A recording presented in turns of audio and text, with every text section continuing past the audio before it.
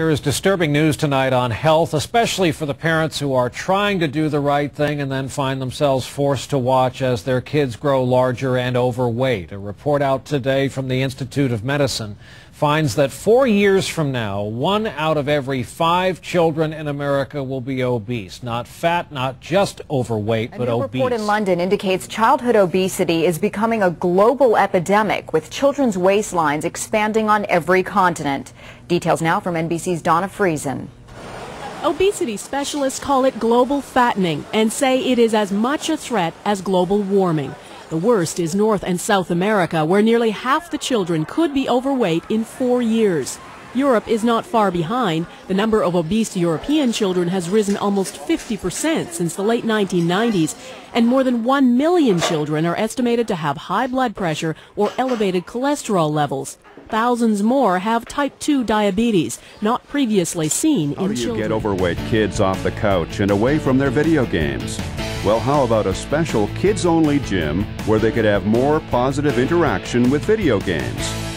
This was the eureka moment for entrepreneur Holly Bond, president of Bulldog Interactive Fitness. The concept was simplicity itself a unique program combining fitness, self esteem, and nutrition advice which kids would want to experience, and one in which parents could feel confidence and trust. We need a place that we can leave our kids and feel safe, that they are not going to be bullied or teased or, or ignored.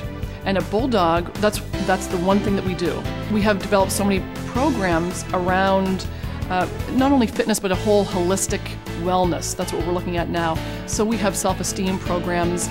We're bringing in cooking programs, which I'm very excited about. So we'll have full kitchens in, in every one of our gyms and uh, we'll have after school programs as well. So kids can come after school. We'll actually go pick them up, take them uh, to our club where they will do their homework, uh, make their own healthy snack, and, uh, and have a workout. Their parents will pick them up. Everything's been done. We're going to teach them things like manners at the table, how to set a table, anything that they need to know in order to become a well rounded, physically and emotionally healthy child.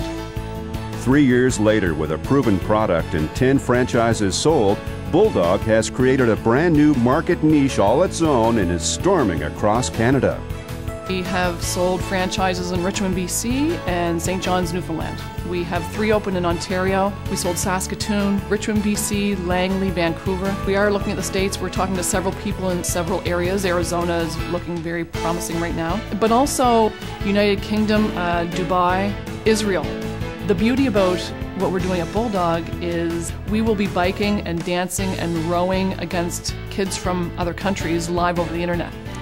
In 2004, Holly Bond reasoned that a video interactive youth only fitness center would combat the alarming rate of childhood obesity and inactivity experienced by many North American youngsters, and that kids and parents would buy in. It looks like she got it right.